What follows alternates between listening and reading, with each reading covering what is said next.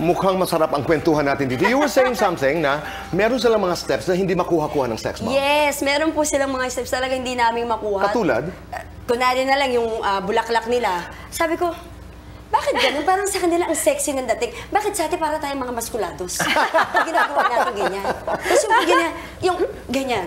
Bakit sila okay naman? Bakit tayo hip-hop? Hindi talaga namin maano talaga. Samantala kayo ang dancer. Tapos yung dancer, pero teka lang naman. Parang, Oh, kami pero- pa cute-cute lang eh. Parang ganun, ganun. Sabi nga nila, dali-dali nung sayaw. Yung, ganun talaga daw po pala. Meron kayang, ah, kahit dancer ka, meron kang hindi magagawa. Kapag Tama. hindi ka, na, pag wala ka doon at hindi mo talaga pre-practice ng matagal. Magkaiba. Magkaiba